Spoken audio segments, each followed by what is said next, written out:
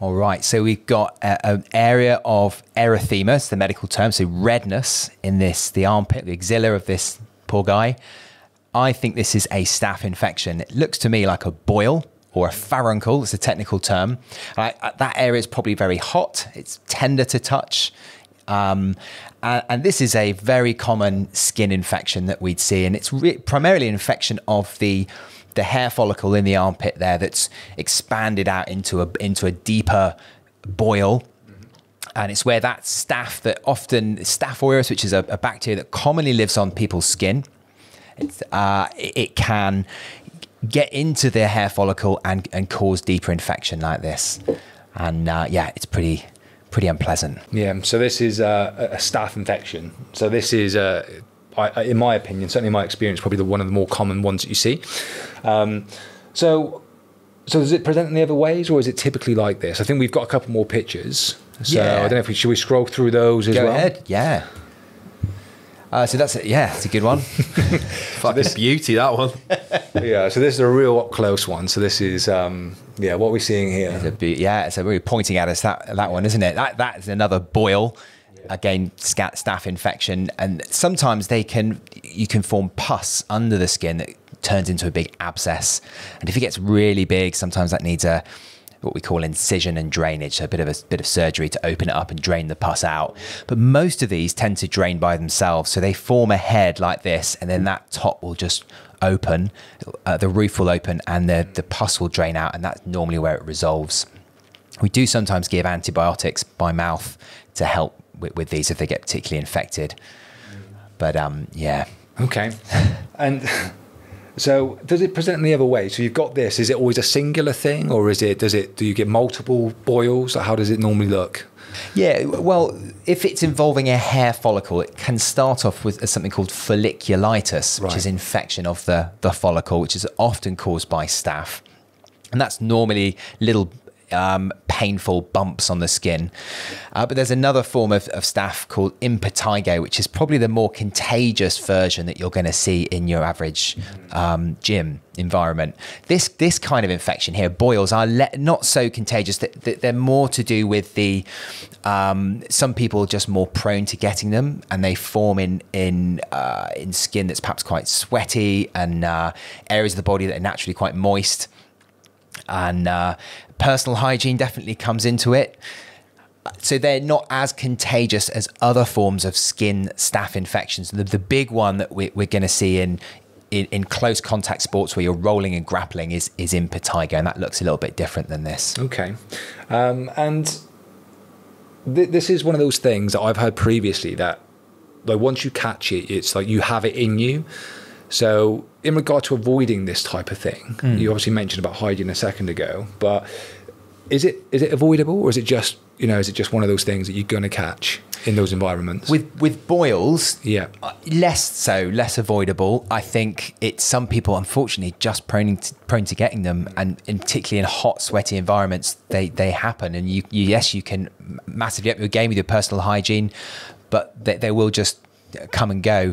Whereas the, the impetigo side, that is much more contagious between one person to another. So that that's really where So you if can- someone if yeah. someone had this, um, say they had a spot and it looked really similar to this, and then Yeah. you know once it stopped hurting, would they be alright to go on the mats and train again? While this is still not like not quite like this, but maybe once it cleared up a little bit, there was still like a little bit of redness. You don't think that's contagious at that point?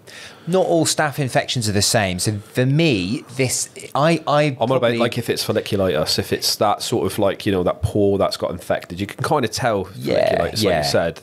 I Um, mean, with I- that, would they? In theory, yes, it, you could still spread staph to your training partner. I, I think with all these infections, the safest option is always to refrain uh, until you're on treatment. I mean, once you've had a couple of days of antibiotics, once that pus is drained, this is no longer likely to be infectious. Okay. Yeah, so just Yeah. wait until there's no pus, not minging, and then you can go back. Yeah, yeah. Once it's burnt out, if you like, once it's it's the pain's gone, the redness has settled, uh, and it's not draining pus anymore, and you've been on antibiotics, say for maybe three or four days, something like this, you you the chance of that being infectious is much lower. Yeah. Okay. So in in regard to treatment, you just touched on it then, but antibiotics is, is that is that what you need for this? Not necessarily for, for small boils like this. actually, in my experience, they do tend to resolve on the whole without any specific treatment. Um, as long as they eventually come to a head and drain, uh, job done. If they're in a more sensitive area in the groin or uh, around the buttock, uh, or they get very Elbow. big, elbow maybe, or if it develops a big abscess, Yeah. you, you can feel there's some fluid under there.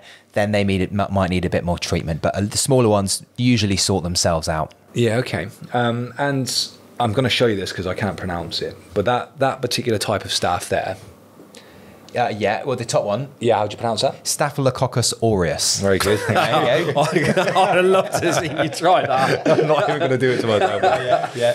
Um, so, so I think that one in particular is quite common. Yeah. And from what I understand, that's a, a type of MRSA which we know is is quite can be quite lethal. Um, and some of the I've not got any pictures of it on my laptop right now to show, but some of the pictures that I've seen as a result of this have been holes in people. Like Yeah. So it's it feels like that particular type of staph is quite serious. Is that right? Well, okay, let's talk about staph and MRSA. So Staphylococcus, coccus just means it's round-shaped bacteria. Bacillus is a rod-shaped one. So that just describes a shape. Aureus means golden because you sometimes get this kind of golden crust, particularly with impetigo. Um, and there is a, a, a variant of staph which is called MRSA, and that stands for methicillin-resistant Staphylococcus aureus. And a lot of people are obviously afraid of this. You see it in the media. You get these um, cases of really nasty infections, in, in particularly in hospital environments. And it's actually MRSA is not any worse than your run of the mill staph. About 1% to 3% of people will have it just living in their body, in their nose, on their skin. That, that's called a. Uh, uh, kind of a, a skin commensal or something, a bug, a bacteria that just lives on your skin, normally without causing any problems. About 15% of people will have normal, just regular staph on their skin anyway, without causing problems. The reason MRSA can be uh, difficult is it's resistant to a lot of antibiotics. So when it does go on to cause infection, it's not just sitting on your skin, it penetrates into the skin and causes infection. It's harder to treat because a lot of an- antibiotics that we have don't work on it. yeah. Okay.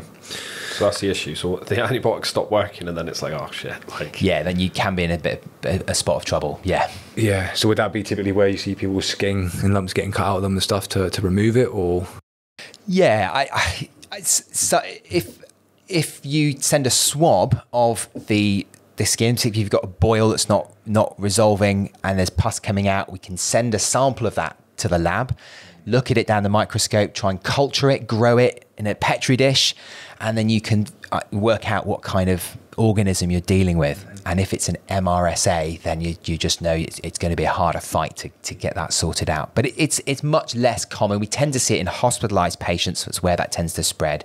Um, but in, in in something like this that isn't resolving, then a skin swab from your GP or your health provider is a good way to get a feel for you know what what what's going on. Could this be something like that?